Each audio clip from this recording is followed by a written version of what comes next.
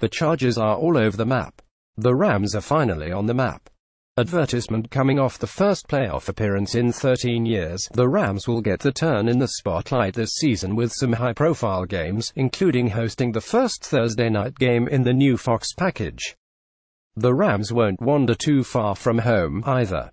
After racking up the NFL's most frequent flyer miles in each of the last two seasons, they don't go farther east than Detroit. They can lend their suitcases to the Chargers, who not only have a London game but play at Buffalo, Cleveland and Pittsburgh. All that was revealed Thursday as the NFL announced its 2018 schedule, which comprises 256 games over 17 weeks.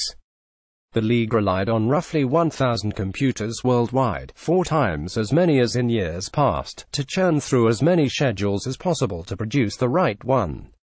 There are hundreds of trillions of combinations, considering there are eight time slots, five networks and four possible game days each week. Coaches Rams to open 2018 season against Oakland on Monday Night Football by April 19, 2018, 5 p.m. and, yes, 32 teams that are probably unhappy about one scheduling aspect or another. I'd like to think one of the nice things about this schedule is that there are really no onerous team issues. Howard Katz, the NFL's senior vice president of broadcasting, said by phone. We made all of our club calls today. Anytime anybody said, ouch, it was over something fairly minor. Certainly, every schedule has issues, but nothing really substantial where somebody says, my god, how could you possibly do that to us? We got none of that this year. The scheduling process is incredibly complex, and Katz and his team of executives, Michael North, Blake Jones, and Charlotte Carey, spend the better part of four months holed up working in a secure room on the fifth floor of the league's Park Avenue headquarters. The room has frosted opaque windows, soundproof walls, encrypted computers, and can be accessed only by a special keycard. Even Commissioner Roger Goodell has to knock was devised by hand by legendary league executive Val Pinchbeck. The schedule is now crunched via a cloud-based system that uses a massive network of computers, some based in Arizona, Europe and Iceland, and across the Hudson River in New Jersey. Coaches Chargers opened the 2018 NFL season at home against Kansas City by Dan Woike April 19, 2018, 5.55 p.m. by significantly ramping up the number of computers this year. The NFL made the process easier in some respects, and harder in others. We were able to search a lot wider than we normally do, said North, Senior Director of Broadcast Planning. But it also made it a little tougher because generally in years past, we would get on a path and keep going down the path.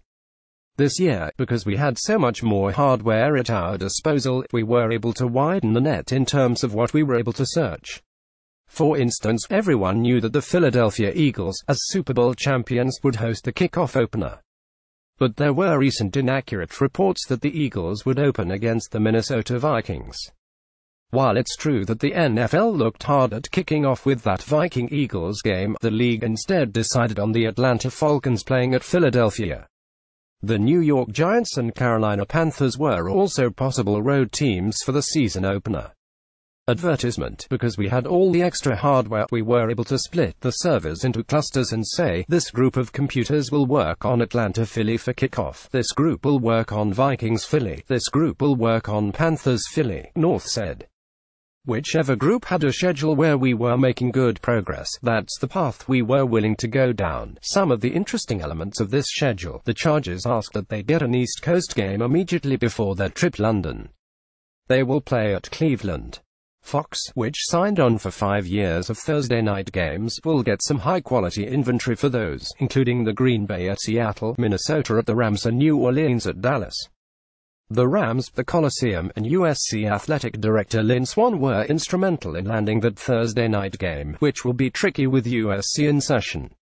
For only the second time since 1970, all three games on Thanksgiving Day will be divisional matchups, with Chicago at Detroit, Washington at Dallas and Atlanta at New Orleans. The Jacksonville Jaguars, who are on the rise and advanced to the AFC title game, host a Sunday night game and twice are in the CBS national doubleheader spot. In addition to getting Seattle versus Oakland, and the Chargers versus Tennessee, London gets an excellent matchup in Eagles-Jaguars. The arrow is pointing up for the 49ers Rams rivalry, and the league is acknowledging that. The Rams visit Santa Clara in Week 7 on Sunday Night Football. Sam.Farmer at LaTimes.com Follow Sam Farmer on Twitter at LATimesfarmer.